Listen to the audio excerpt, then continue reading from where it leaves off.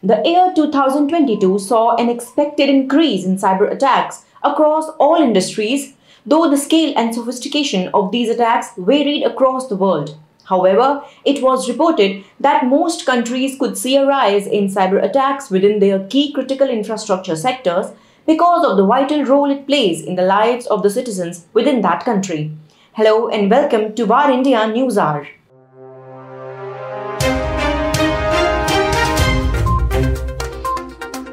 The National Critical Information Infrastructure Protection Center in India, an organization of the Government of India designated as the national nodal agency in respect of critical information infrastructure protection, has identified the following as critical sectors power and energy, banking, financial services and industries, telecom, transport, government and strategic, and public enterprises.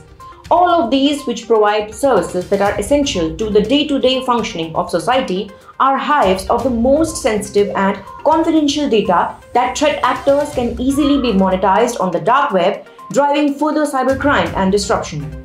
Unfortunately, the potential for widespread disruption has not gone unnoticed by cybercriminals. In India, close to seven critical infrastructure attacks have wreaked havoc for those within that industry, from the Oil India Limited ransomware attack in April and in May on grounded SpiceJet flights, leaving passengers stranded for four hours, to Goa's flood monitoring system in June and banking data breaches reported in August, to the more recent cyber attacks on the AIIMS healthcare sector and resulting onslaught on Safdarjung Hospital in New Delhi, have left authorities understanding the need to prepare for an escalation in cyber attacks in future.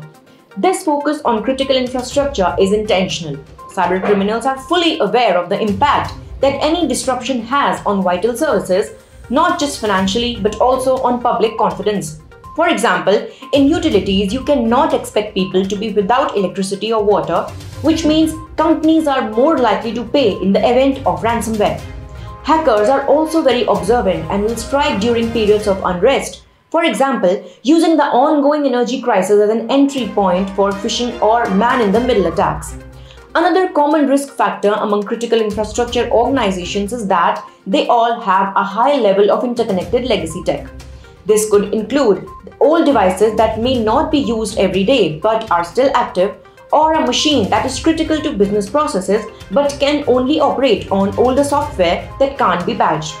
We can't deny the fact that increased connectivity is the problem. This problem has been exacerbated by the introduction of IoT devices, which are incredibly complex to manage and are rarely built with security in mind. As companies collect more data and expand their network infrastructures, the more attractive they become to hackers and the harder it is to defend against threats. The threat level continues to grow and the consequences only become more severe we have seen for ourselves here in India. Now is the time to take action and prevention should be at the heart of every step they take to better secure themselves. Let us now look into today's headlines in VARINDIA. Hacker George Hotz resigns from Twitter. After only four weeks into his 12 week internship, software engineer and security researcher George Hotz has resigned from Twitter. He joined a month ago as an intern to help Twitter's new owner Elon Musk overhaul the social media service. The resignation comes after Musk's abruptly rolling out and then sometimes reversing controversial changes at Twitter, causing some users and advertisers to leave. DOT forms task forces to boost domestic telecom manufacturing.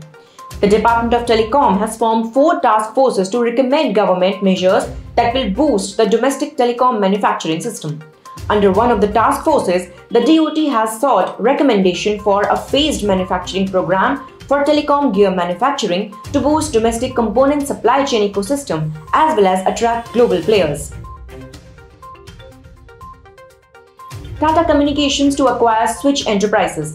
Telco player Tata Communications' Dutch arm has entered into an agreement to fully acquire US-based media service provider Switch Enterprises for a cash consideration of $58.8 million. The acquisitions will provide direct upsell opportunities for Tata Communications' offerings, which will drive expansion of its Video Connect business as well as its presence in Europe and North America. RIL unit acquires 23% stake in Exyn Technologies. Reliance Industries' wholly owned subsidiary Reliance Strategic Business Ventures Limited has acquired a 23.3% stake in United States-based Exyn Technologies Inc. for $25 million. The deal will accelerate Exyn's product and technology development and commercialization across multiple application areas. The acquisition of stake will have Reliance's investments and strategic initiatives in the areas of drones, industrial safety and security, and robotics. PhonePe completely separates from Flipkart. Walmart backed Flipkart has completed full ownership separation of PhonePe as it is looking to raise its largest ever funding round, making it the most valued fintech startup in India. As part of this transaction, existing Flipkart Singapore and PhonePe Singapore shareholders, led by Walmart, have purchased shares directly in PhonePe India. This also completes the move to make PhonePe a fully India domiciled company. That's all for now. Please like, share, comment and subscribe to VARINDIA News Magazine. You can download the VARINDIA app from Google Play Store and Apple App Store for the latest news and updates. Stay tuned. Thank you.